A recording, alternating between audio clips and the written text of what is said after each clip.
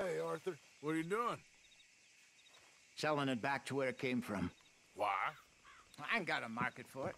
They made it, they must have someone to sell it to. Stuff look kind of lonely out here. I think we'll cut ourselves a deal. Uh, I get you.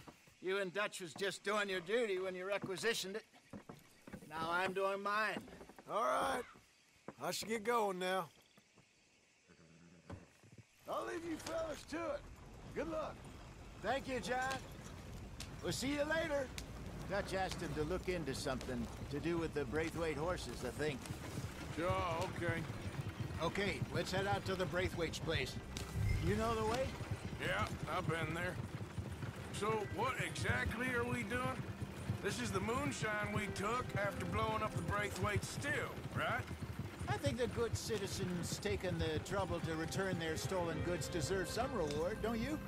And it's time we made a formal introduction, like Dutch told us. Look, these are two big old plantation houses. and All I keep hearing is they hate each other so much they can't see past it. I know. I've seen it. There's a gray boy and a Braithwaite girl carrying on a secret affair. I've been, well, helping them. The mind boggles. You think they're of use? Not sure. They don't seem too involved in the rest of it, but maybe. Well, I'm sure there's money in this for us somewhere if we can get in the middle of it.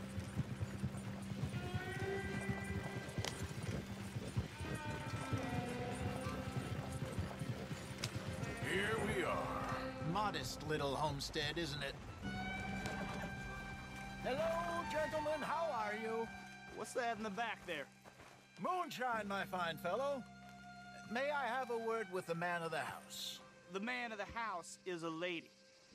Mrs. Catherine Braithwaite. May I speak with her? I want to discuss a business opportunity. I mean no harm. No harm at all. You may happily shoot me if I do. Okay, okay. She's at the house. We'll be watching you. You heard the man. Driver, proceed, please.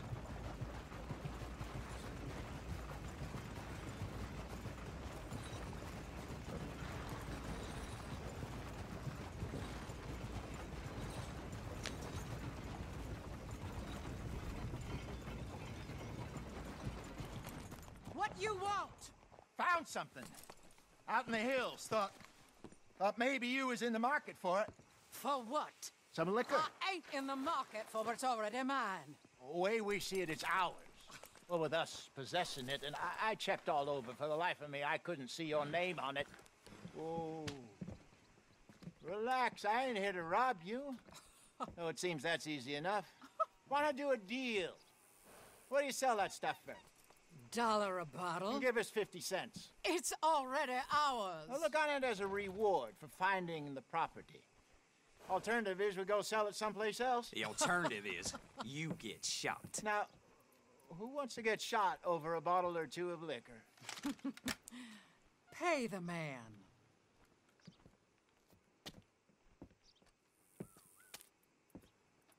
Pleasure doing business with you. And listen, uh, we didn't take it. At least not without orders from... Oh, I know exactly who gave you your orders. Old Sheriff Gray. You know what? I don't want it. In fact, sir, now you can do me a favor. There's an extra ten bucks if you do. Drive the stuff into Rhodes, head over to the tavern run by Mr. Gray, and give the stuff out for free. Mama! Hush now. I believe they call that a promotional expense. As you wish, madam. You boys come back sometime and tell me how you made out. Maybe we'll play a little cribbage. All right. Next stop, the Road Saloon. Here we go.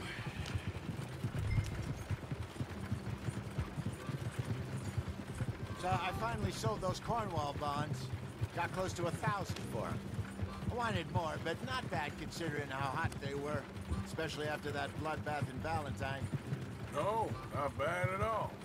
Apparently, Cornwall's been pumping a lot of cash into the Pinkertons. Wants to keep their full effort on going after gangs. Gangs like us. Yeah, that don't surprise me. All right. This could get ugly. You and Dutch already have that thing going on in town with the sheriff. Yeah, Mr. Gray. That's it. Now we're inserting ourselves in this blood feud. We'll need something. I ain't playing dress up. You know my feelings about that. Of course you're not. You're... You're a clown's idiot brother. Hosea, please. I'm the clown.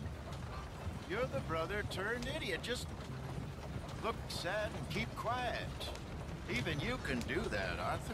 Do I have to? Put this hat on. Yeah. Smoke this pipe. Bring your lip forward just a bit. Squint. Oh, perfect. Yeah, what about you? Shh, shh. You can't speak. You're turned idiot. Right. Broke poor mammy's heart. Ah. There, there. Don't get mad now.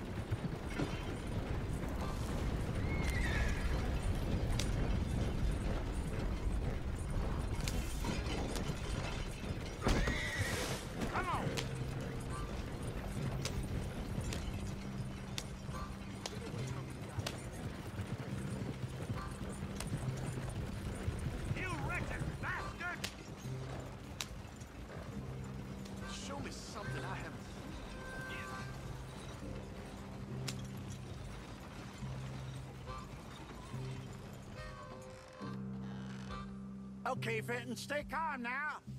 For Mama, she loved you so. Just a shame you had to strangle her in a rage, right? Grab two cases of that stuff and follow me.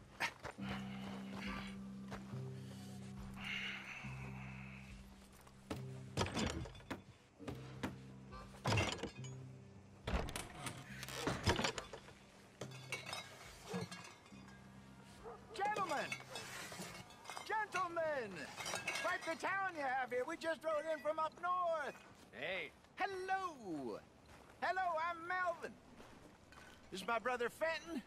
Don't mind him, don't madden him. He's turned idiot. Killed our mother, but it weren't his fault. How'd you boys, how'd you boys like a couple of bucks? I bet you would. One for each of yous. We're in the new trade of advertising, which is an American art form about ensuring people buy the correct things. I don't know. One more dollar. Says give us half an hour. What harm can we do in half an hour? Go along now. Enjoy the money. Come along, Fenton. Just hand out the liquor.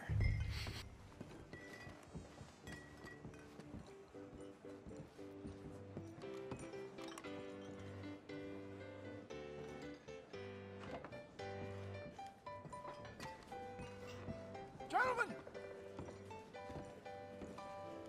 Gentlemen! My name is Melvin.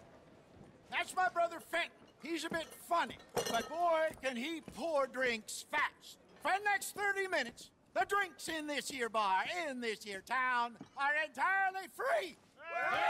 The only rule is that you gotta drink them. So hurry up, put old Fenton to work. Don't get him mad, though. His mama made him mad, and we buried her. Poor thing. Now come up to the bar, everybody. Come on, fellas, it's your lucky. I'll have one, Fenton. Drinks. A gift. Bounty. It's a sin to look a gift for it. But I see a gift for it. That's some strong stuff. Let's keep them coming.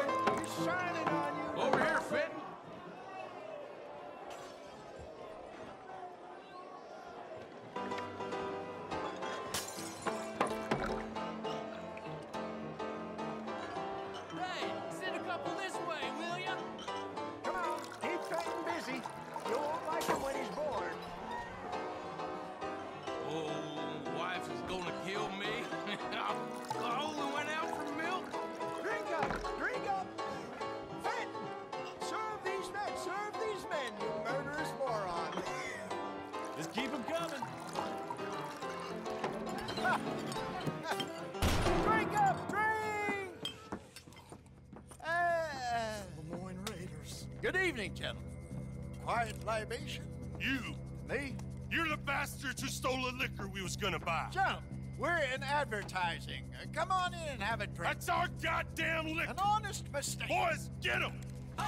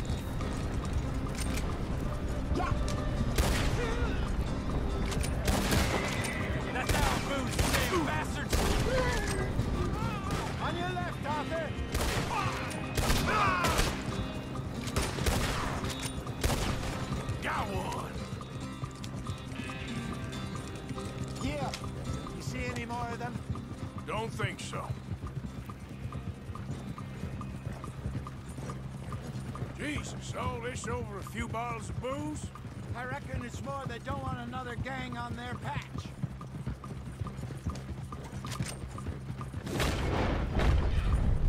Okay.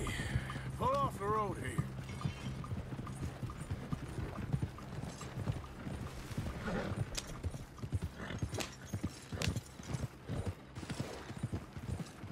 All right. We're good. Yeah. Remind me never to take up a career in... What was it? Advertising. Yeah. You think that woman set us up? No, I don't think so. Maybe. This place is odd. I keep seeing those fellas. Some local militia. Clearly not too happy to have some new competition. I'll go visit old Ma Braithwaite, see what's what. Why? We've been making money. The chest is filling up again, slowly but surely. Part of me thinks we just get ourselves good and lost.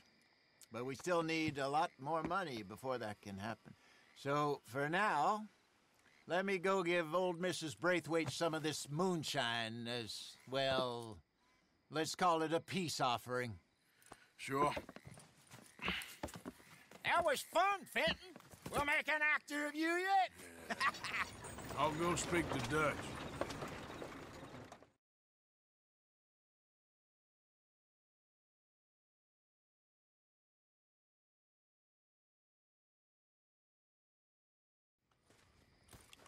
So, what do you think? About what? The fine folks around these parts. Oh, real nice. Exactly. On the one side, we have got the Gray family. Scots, degenerates, drunkards, the local law. You couldn't make this stuff up. Rich as Croesus. And on the other, their mortal enemies, the Braithwaites. Moonshiners, hypocritical, both rolling, we believe. In gold. And in the middle of it all, you got some inbred retelling of Romeo and Juliet. exactly. so what you boys thinking? We try to rob them both. You sure? Why not? Because we got lawmen in three different states after us. Last thing I want is to get us into trouble, but we need money. Now, we have the opportunity here to put ourselves in the middle of something ain't nobody gonna know we was here. Because even without us, these fools are gonna kill each other anyway. Okay, well, Hosea's gone back to see that Braithwaite woman. Good. Hosea should definitely take the lead on this. I sent Sean over to Braithwaite Manor, too. Now, you can meet up with them, or join John and Javier at the Gray's place. Something to do with the Braithwaites' prize horses. Well, how the hell did we get an in at the Gray's place? Sheriff Gray kindly put in a word with his father. It ain't that complicated. we gotta convince each family that we're on their side, and then we rob them both. Before they figure out it was us that done it, and not the other lot, we'll be long gone.